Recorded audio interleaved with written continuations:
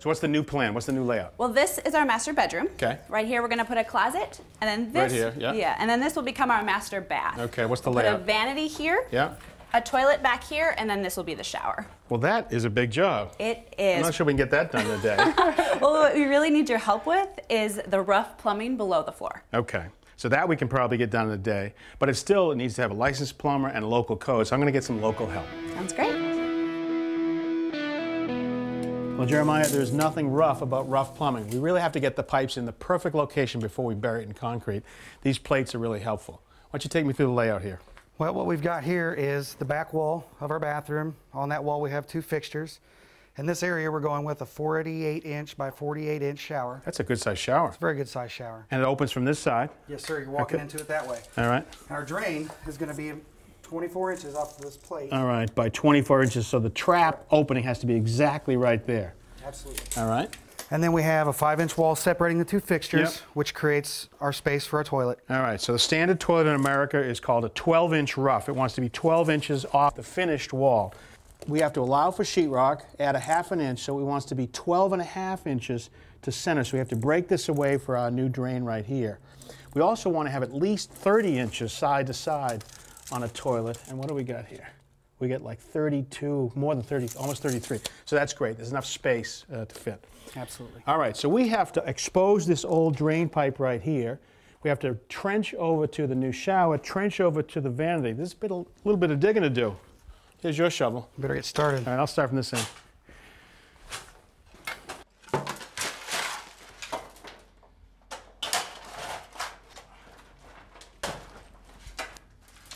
All right, so we've exposed the old, what they call the closet bend. That's where the toilet sat right here. You can see the branch right here that went to the shower, and this is the drain for the lavatory. Now this pipe is probably 80 years old. You can see the evidence of the old cast iron connection that was called bell and spigot. This is filled with lead right here. We don't want to disrupt this. If we do, it means we now have to dig outside and tie onto the pipe way out there, and that's not good. We're going to try to cut this right here behind the knuckle, and hopefully there's enough material right here that's good we can tie onto. Now we can't just use a regular metal blade because this is cast iron. So we'll use a grinding wheel with a diamond blade.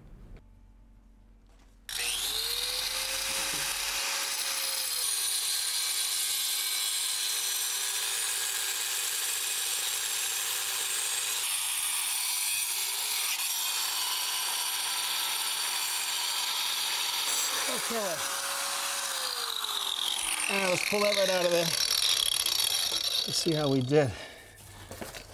Oh, there's the old drain from the shower. Oh my goodness, that's great. Plenty of meat there. I'm so glad we didn't have to dig up the whole backyard. Absolutely. All right, to tie onto our old cast iron pipe, we're going to use this.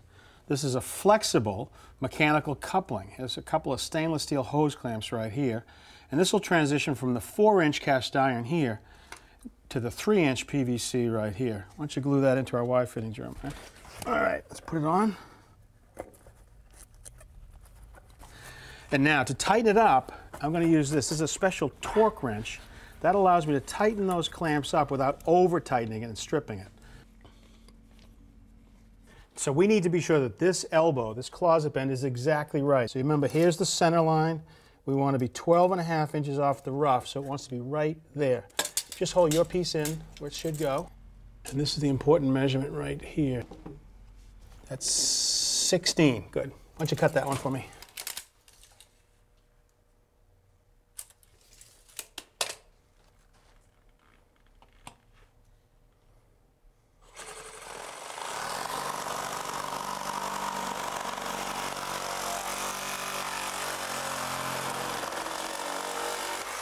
It's always good practice to deburr the end of the pipe and to actually ream the inside to make sure it's as smooth as possible in there.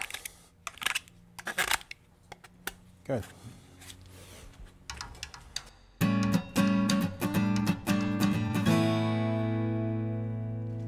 All right, let's put it into place. Push, push. Okay. Wow, 12 and a half, just like we planned. All right, tighten that up, okay?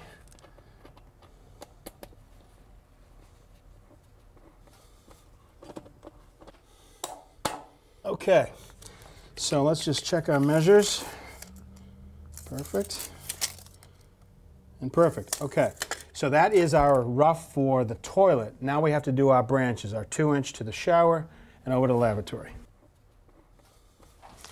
Well, you got the beginnings of a bathroom down Yes, here, we do. Let me get you up to speed. Here's that old cast iron line we tied onto it. Here is the three inch drain line for our toilet right here. You can see this branch right here going over to the shower stall with a trap right there. So what is that trap for? Well, any plumbing fixture has to have a trap. They're filled with water, and that's important to keep sewer gas from coming up inside the building and making a smell. Sounds good. Toilet has one built in. There'll be one under the shower stall and one under the vanity. All right. So now our drain lines go to the shower. Have it, we come over here to our lavatory, but any plumbing fixture has to have a trap, but it also has to be vented. So what does the venting do? Well, venting is really important. If we're going to have water go down a pipe, we have to have air coming in behind it to relieve it so it'll go down smoothly. Otherwise, you're going to have gurgle or all kinds of noises. So, in the old days, we might have to individually vent everything. So, in a case like this, the toilet might have needed a three and a half, three by inch and a half Y fitting with a small vent pipe over here. Another Y right here coming off the side.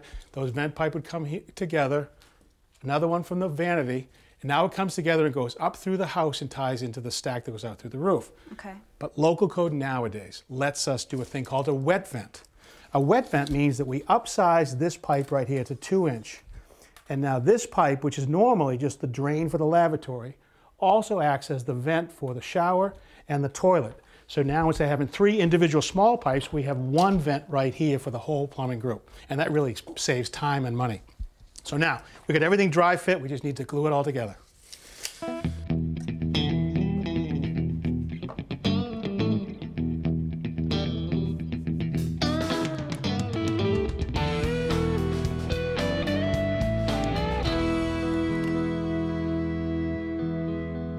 So we have worked really hard to get these pipes in the perfect location and to have pitch, about an eighth of an inch per foot so the water drains properly.